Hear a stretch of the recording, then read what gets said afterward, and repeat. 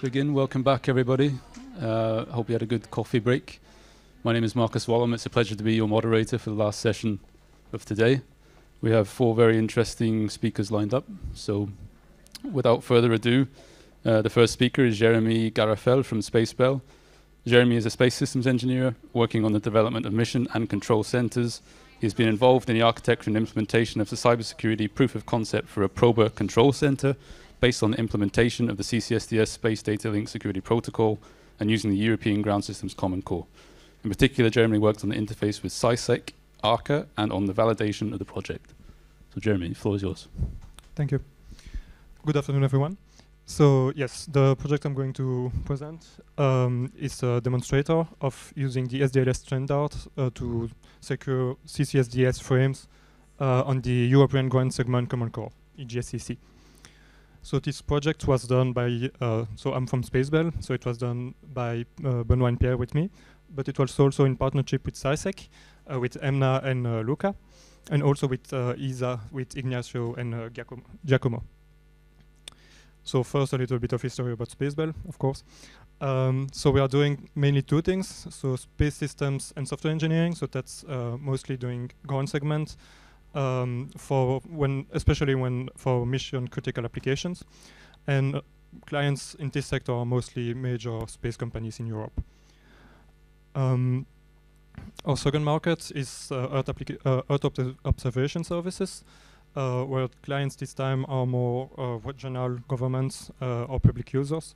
And so we do monitoring solutions or environment management, things like that. Uh, in all of our softwares, we're usually uh, we're usually, usually there from architecture to maintenance, so from the beginning to the very end. Um, and we've been active for more than 30 years. Which uh, we've already finished more than 45 missions, with 13 million euro in sales every year. Uh, the vast majority of which are export. Uh, we're present in Liège and Brussels in Belgium, also in Toulouse in France, and then we're also present in Poland. Um, and since 2015, we're ISO certified for quality management services. Um, we've also worked on all of the PROBA missions so far. So PROBA 1 was a Earth observation satellite that was supposed to be active for two years, but it's, it's, still active today after more than 20 years. It was the longest Earth observation mission from uh, ESA. It, it wasn't, it, it is. Um, so then there was also PROBA 2. It's, uh, this time it's um, solar observation satellite, which is also still active today. Uh, veg vegetation, which lasted, I think, between two and five years. Um, it's not active anymore, but it did its mission. And this one is to monitor, it's also Earth observation. It's to monitor vegetation level uh, on Earth, and it covers the entire globe in three days. Um, then a mission that's supposed to be launched next year. Uh, it's PROBA 3, so it's two satellites to observe the, the solar corona um, with one of the satellites uh, acting as an occultor. Uh, and it's also a sat uh, mission that will do formation flying for the first time, at close distance at least. Um, and then lastly, we have launching in two years, I think, uh, Proba Altius, which is also an Earth observation satellite uh, to sound the atmosphere looking at white limbs. So Proba, the A in Proba is for autonomy, so it's a lot of automation is going behind it. Um, sorry. So we automate everything uh, from planning to the actual path. So the entire path is uh, entirely automated with no action from uh, any operator. And to do this, we have the workflow engine. That's a product that was developed by Spacebel. Um, and that's a product that can we can plan basically a lot of different each box in uh, in a workflow will represent an action and this action can be a python script a bash script uh, a groovy script anything you want um, in the case of this project, uh, so we have one workflow for now, we will have multiple afterwards, uh, that have different procedures that are in Python in Groovy.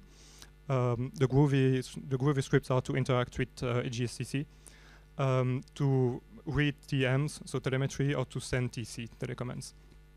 Uh, unfortunately, as of now, as of before this project, uh, EGSCC does not secure the the TM and the TC link, so there is no authentication or no uh, encryption. So for this, we use the SDLS standard, uh, which is a standard uh, that is to be applied to CCD CCDS, CCSDS frames, which is uh, what's used in EGSCC. Um, so if we look at the entire CCSDS protocol, we intervene at the uh, level really of the TM and the TCs. And that means that uh, looking at the entire infrastructure, infrastructure um, the entire link between the moment uh, uh, a TC will leave the antenna and uh, and get to the satellites, the, the entire communication is encrypted, and then and vice versa for, for telemetry. So looking at a frame in the CCSDS protocol, uh, we can see on, on top uh, that we have, every time we have a header, then we have the frame data, which can be any byte you want, and then we have a trailer. And then using SDLS, we add on top of that, we have a security header and security, security trailer, which is added uh, in the content of the frame. So we do not touch uh, the header or the trailer, we just add content into the data. Um, for the architecture of this, uh, of this implementation, so we have defined three different layers. The most important one would be the generic layer. That's really where SD, uh, SDLS is implemented. Uh, so it contains all of the logic to uh, to encrypt a frame, uh, decrypt the frame, to to do some key management. Um, then we have uh, an Arca integration layer, which uses an uh, so it communicates with, with an Arca server to do authentication and uh, encryption, but also key management. And last but not least, we have the EGSCC integration layer, which communicates um, with EGSCC. So it integrates the library, the SDLS library into EGSCC. Um, fortunately, EGSCC offers an extension mechanism to uh, add cryptography in it. Um, so integration is, uh, in principle, very easy. Um, so this also means because we have three distinct layers that we could reuse this project uh, outside of EGSCC, so in a different uh, ground segment, but also with a different uh, encryption appliance or with an updated Arca, for instance. So for the prototype that we have, first, if we want to do only authentication, um, as I mentioned earlier, we have we add security header and a security trailer in the frame, so into the into the data of the frame itself. Uh, so the trailer, the header, sorry, in this case will include the uh, an anti-replay sequence number that's incremented at every communication, and then the trailer uh, contains the uh, the MAC, so the authentication tag. Um, and uh, yes, so the and the authentication itself is done on the entire frame, starting from the header to uh, before the trailer. Um, if we want to do encryption, it's basically the same principle, except that instead of a se sequence number, we use now an initialization vector. Um, and now the frame, instead of being, so the frame data, instead of being clear, it's completely encrypted, so completely unreadable. Uh, and looking at the entire architecture of the of the prototype, uh, we can see here how we integrated Arca. So for the ground segment, we have Arca uh, that's uh, on the server, and we communicate directly with it. And then, because this is a demonstrator, we don't have a satellite to communicate with, but we communicate with a simulator. And this simulator uses not an Arca server, but uh, uh, Arca on cloud, so it's a Docker container that provides the same service. Um, and then for to, to configure all of this security, we have security associations. So each of the frame that is sent in CCSDS is sent on a specific uh, virtual channel ID and on a specific map ID. Uh, and we associate with that, it's a security association. So we associate an ID, uh, security association ID. Um, and each security association also has uh, associated encryption key, authentication key, then the initialization, vector that I mentioned earlier, or the sequence number, depending on authentication or encryption. Um, and then if you look at the life of uh, security association, if we start, we have basically nothing. Then when we create one, we, we need to associate uh, each of the four parameters I mentioned just above. Then we can rekey a security association uh, by specifying that we want this, uh, uh, for instance, uh, encryption key ID to be associated with the security association. And then uh, what's left to do is start the security association. And when, when it started, we can safely uh, send TC that are uh, secured or get TMs that are secured. and so there's all of the reverse procedure to stop a security association, expire it, or, or delete it. Um, to deal with the, the security association, we need to be able to communicate specifically on this uh, with the satellite. So we use extended procedures. Uh, so there's the security association management service that I mentioned on the previous slide, but there's also the key management service. Uh, but in the scope of this project, we only used key activation or deactivation. So all of the key we use are preloaded, uh, both on the simulator and in the in the ground segment. And to exchange this uh, extended procedure, we so this is in the SDLS standard is defined as a as a PDU.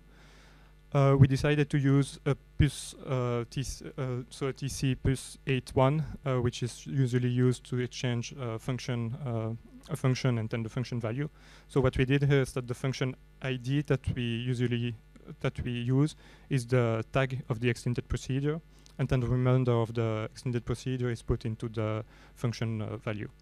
So this way we can use PUS, uh, we can use the PUS standard that's uh, easily understandable by any simulator or satellite that we used, uh, at least with the CCSDS standard, and exchange our extended procedures.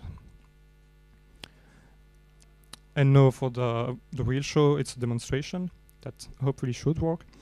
Um, so what we have here, first we have our workflow engine. Um, so this is the Spacebel project I was talking about.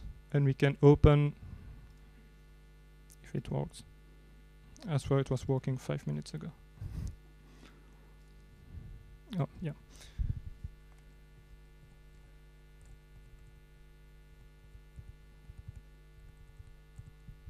lost connection.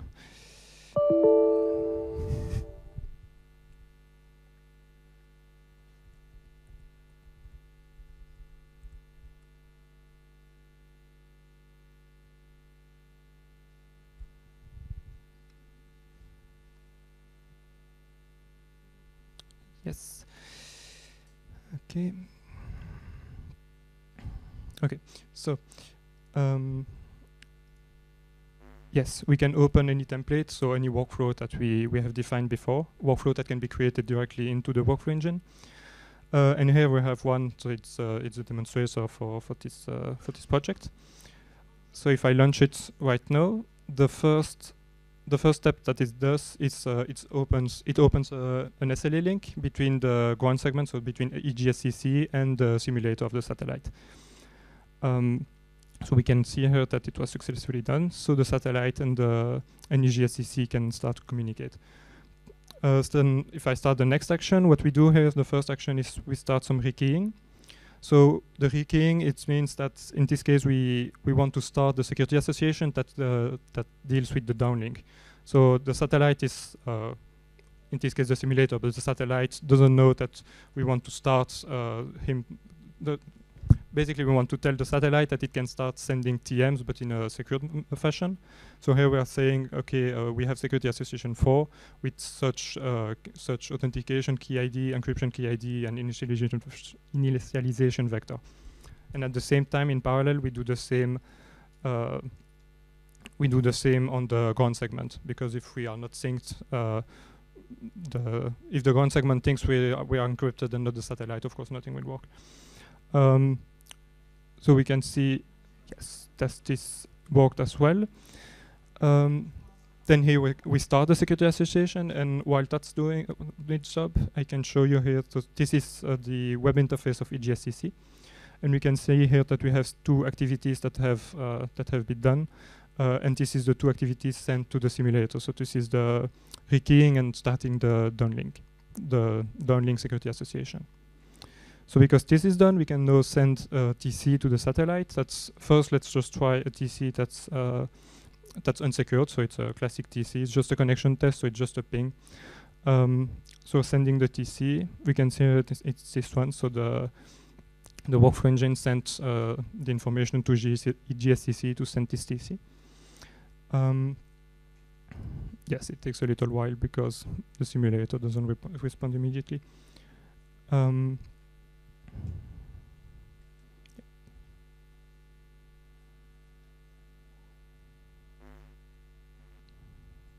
Okay.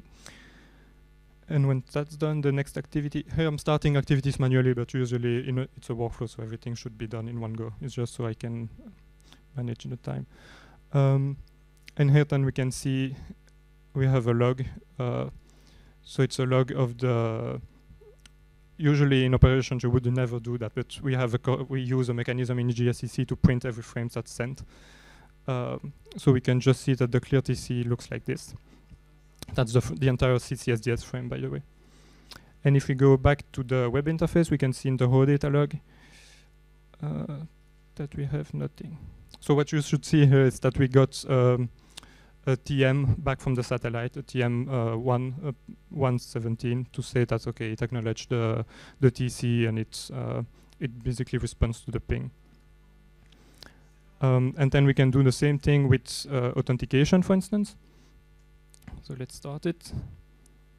I see we don't have a lot of time, so I'm just gonna skip the verification part and go look directly at uh, what the frame actually was. Yes, here it is. So if we compare the two frames, then we can see that the second one is a lot longer. And actually, we can see that the packet, so the data of the frame looks like a little bit like this, which we can find back uh, somewhere here in the first frame that's sent in clear. And in the second one, we can still find it. It's just uh, a little bit further. Uh, yes, it's here because we have the security header in front, and then we can see the frame is still uh, bigger in the in its hand because we have the authentication tag that's added. And then lastly, if I send uh, if I send the TC that's encrypted, yes, once again, let's start and look directly at what it sent. Yes.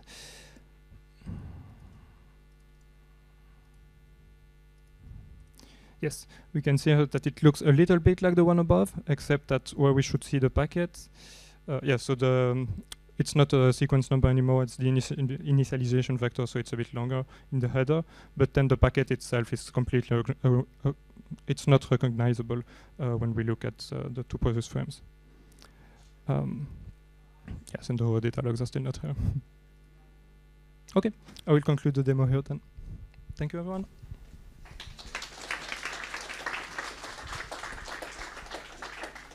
Thank you very much, Jeremy, and very brave to do a live demo. Any uh, questions in the room to start with?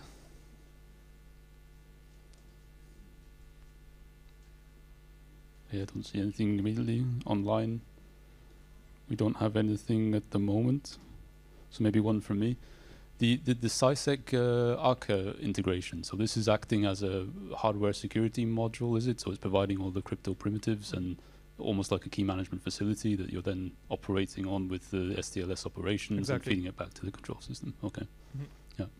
Yes, and that's so in the long term. Uh, I believe CySEC has something to put. So here we use uh, for the simulator we use a Docker container, but CySEC has something to put directly into the satellite for the long term. But there's a presentation on that tomorrow. Okay, very good. So this is kind of modular. It could be also uh, anything that provides that function set of security primitives to the EGSCC yes. component. Mm -hmm. Okay, nice. Yes, one question in the room. Thank you. Um, do you have any comments regarding uh, key management? Because that's an aspect which uh, Space Data Link Security Protocol leaves quite open to uh, interpretation. They write something about um, just upload 10 keys and then switch. Um, have you um, worked on that or have, have you any more thought about it? We haven't worked on it because very early in the project it became clear that it was completely out of the scope. Um, we had another project that was supposed to start and, and be applied on that, but it was cancelled. So, um, but no, indeed, it would just be to upload the key, also in, in an extended procedure. Uh, and of course, because we can use any security association we want, we would probably use a, an encrypted one to send the keys, uh, I guess. But we haven't given it more more thought uh, or made any architecture for that.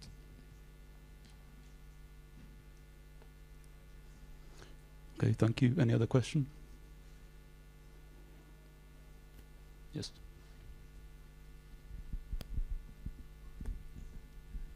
On the EGSCC, do you measure uh, any performance issue on the telecommand link or uh, any impact?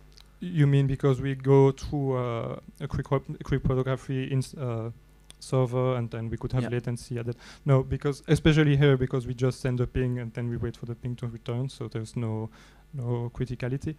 Uh, but even though I think the Arca server is perfectly capable to handle the the bandwidth that we need, uh, because it's not that high to be honest. Um, yes, and I, that answers your question. Yes, thanks. Thanks. Any other question for Jeremy? Maybe just uh, one remark on on the first question of the of the key management best practices. Of, course, the the implementation uh, normative standard is the Blue Book, but in CCSDS there's also uh, Green uh, Green Book, uh, which elaborates to some extent on on the topic. But uh, yeah.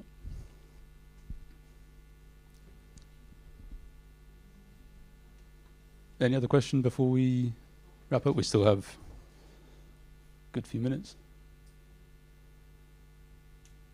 If not, then Jeremy, thank you very much. Thank you, everyone.